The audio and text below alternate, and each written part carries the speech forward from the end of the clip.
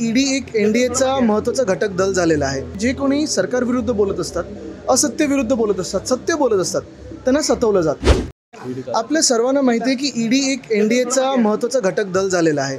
ED असेल I T असेल C B I असेल जे कोणी आणि मी सतत बोलत आलेलो आहे कदाचित पुन्हा एकदा बोलायला लागेल की जे कोणी सरकारविरुद्ध बोलत असतात असत्यविरुद्ध बोलत असतात सत्य बोलत असतात त्यांना सतवलं जातं. आज राजकारण्यांवर ही वेळ आहे. दोन हजार चोवीसला जर हेच सरकार बसलं तर पत्रकारांना देखील असंच हैराण केलं जाईल हे आजपासून तुम्ही ओळखून घ्या. मुख्य गोष्ट हीच आहे. आपण सूरज चव्हाण यांच्या पण केसमध्ये पाहिलं असेल. न्याय मी ह्याच्यासाठीच मागतोय. कारण जे कंपनीचे मालक आहेत ते मिंदी गटात नेते झालेत म्हणून त्यांना बोलवलं नाही ईडीनी. पण सूरज चव्हाण ज्यांना कर्मचारी आहेत त्या कंपनीमध्ये त्यांना बोलवलं ईडीनी. म्हणजे हा खरा न्याय आपल्या देशात चाललाय की पाकिस्तानमध्ये चाललाय?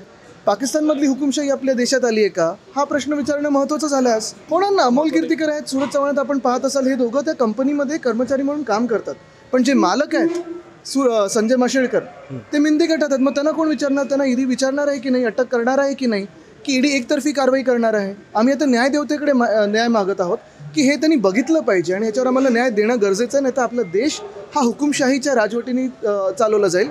ही एक गोष्ट झाली. पण जसं सुरत चव्हाण आहेत रोहित पवार आहेत अमोल कीर्तीकर आहेत तसं किशोरीताईंना हैराण केलं जातं आहे तसं वायकरजींना हैराण केलं जातं आहे राजन साळवीजींना हैराण केलं जातं आहे आणि सगळ्यांना हेच सांगितलं जातं आहे की आमच्यात या म्हणजे भाजपात या किंवा मिंदी गटात या नाही तर तुम्हाला आत टाकू.